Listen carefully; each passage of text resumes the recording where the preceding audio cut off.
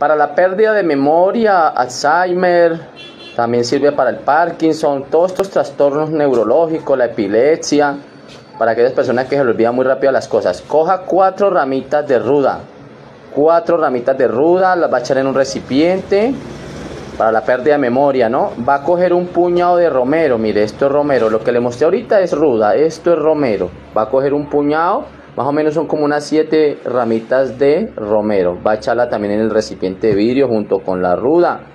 No olvide que cuando hay pérdida de memoria hay que evitar de alguna manera cualquier enfermedad del sistema nervioso central. Entonces, ese envejecimiento cerebral. ¿Cuántos limones vamos a usar? Vamos a usar 11 limones. Aquí le muestro el limón y vamos a exprimir los limones.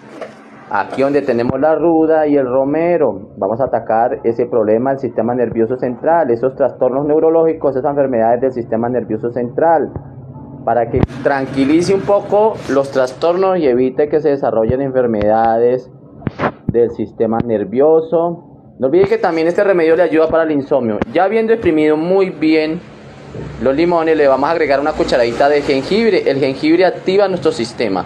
Y después llenamos toda esa botella, todo ese frasco con estas plantas con vino blanco hasta que lo tape y lo dejamos fermentar 8 días. Tomamos una copa en ayunas todos los días.